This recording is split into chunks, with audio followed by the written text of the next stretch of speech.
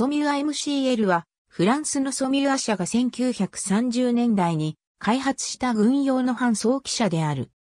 ソミュア社が1930年に開発したソミュア MCG は、フランス陸軍砲兵隊で好意的に評価を受け、これを受けて、ソミュア社は、より重量のある GPF155mm カノン砲の牽引の可能な改良型の開発を検討した。このモデルは当初 M22CL5 と呼ばれていたが、最終的に MCL として開発が行われた。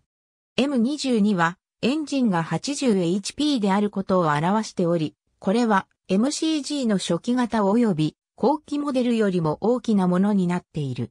1935年に MCL の2種類のタイプが開発された。これはとなっていた。1937にフランス陸軍が MCL11 の試験を行ったが、総輪式のラフリー S35T に比べて、性能的には低いと判断され、本格導入は見送られた。最初に生産されていた15両は12機の GPF155mm カノン砲を運用する一つの部隊のみで集中運用されることになった。また、MCL5 の回収車両型も開発され、いくつかの戦車部隊に配備された。これら生産、配備された MCL のエンジンは後にソミワ社の手によって 90HP のエンジンに換装されている。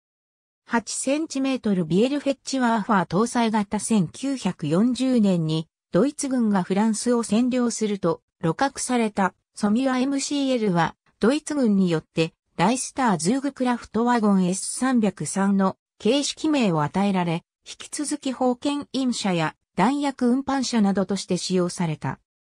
ドイツ国防軍の装甲師団の一つである第21装甲師団は1943年に北アフリカ戦線で壊滅した後、フランス国内で再編されたが、この際に使用可能な装備の多くがフランス国内に残されていたフランス製の六角車両であった。